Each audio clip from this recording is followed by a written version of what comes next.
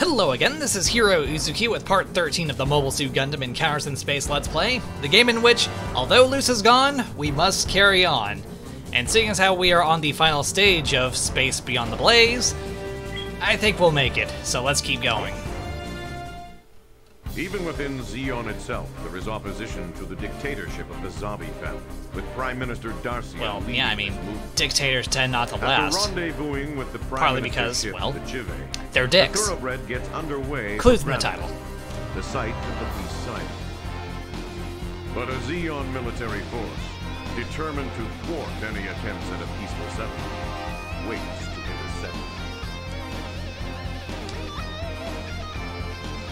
The minority does not speak for the we have a majority. approaching from the moon.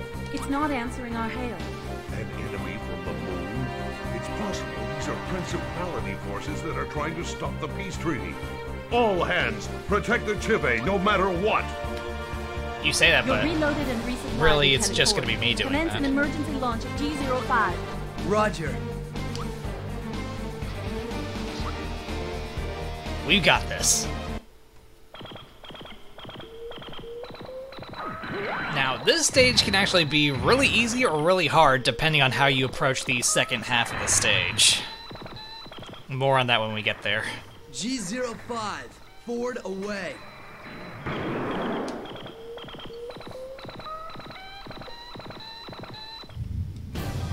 It must be protected at all costs! Lieutenant Ford, please believe in the power of yourself and your Gundam. I'd risk everything to end this war.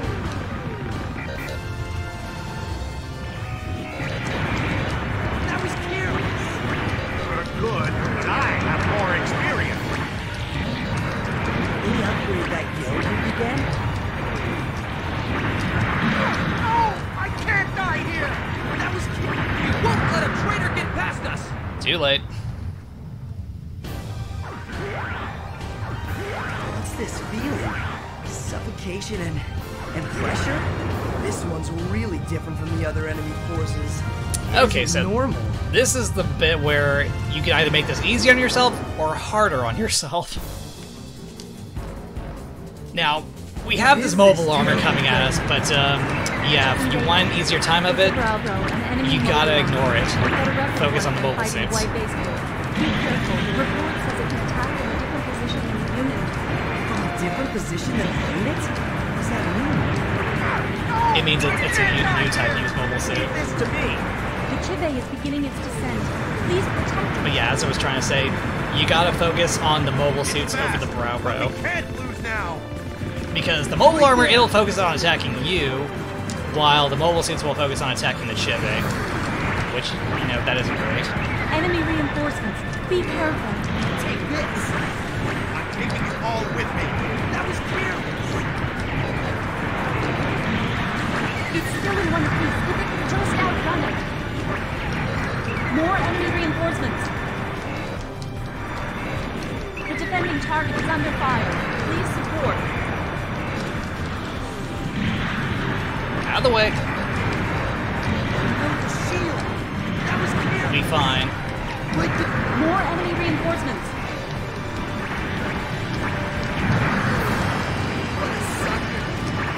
Chive will be out of danger soon. Just a little longer. Take this! Enemy destroyed. And the Chive is safe as well. Neat.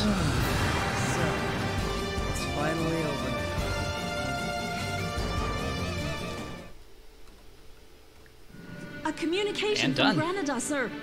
They're opening negotiations at Amman. It looks like peace. So, For now. finally over. This war is finally coming to an end at last. Until 0081. And 0083. And We'd like 87. to welcome Prime Minister Darcia of the Republic of Zeon. We did it, Luce. Ugh. Ah, I only wish you were here to enjoy this victory with us.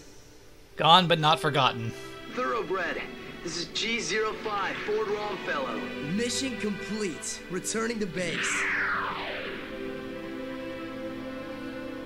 Universal Century 0080. After this battle, all hostilities were suspended, Soon after, a formal peace treaty marking the end of the war between the Earth Federation and the Republic of Zeon was signed. But how long would it last? So, that was Mobile Suit Gundam Space Beyond the Blaze, at least canon events. This game Encounters in Space, it does something different with this material. It uh, has a branching storyline, and I'll go over that when I take care of Stage 3 again. In the meantime, I'm gonna go ahead and stop here while the stopping's good. Thank you for watching the video. If you enjoyed it, then consider hitting the like button, the subscribe button, leaving a comment, and hitting that bell to stay updated with more videos from me. With that, this is Heero Uzuki signing off. Yes, Luce is gone but not forgotten in this route, but what about the other one?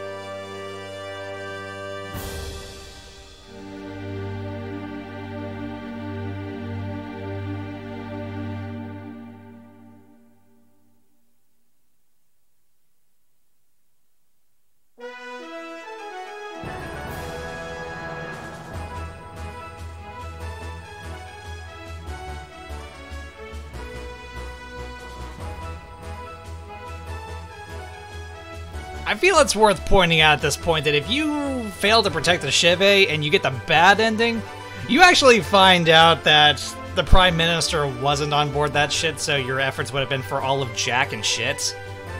Which, now that I think about it, still kind of feels that way. I want a refund, damn it.